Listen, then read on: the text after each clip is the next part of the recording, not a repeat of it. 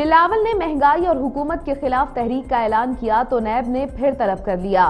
NAB صرف بلاول کے تاکم میں ہے آصفہ بھٹو اور بختاور بھٹو کا رد عمل سوال کرتے ہوئے کہا کہ فنڈنگ کیس اور نہ نظر آنے والی بی آر ٹی کا حساب کون دے گا